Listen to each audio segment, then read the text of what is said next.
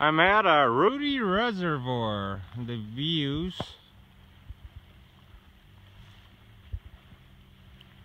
The state park in Colorado.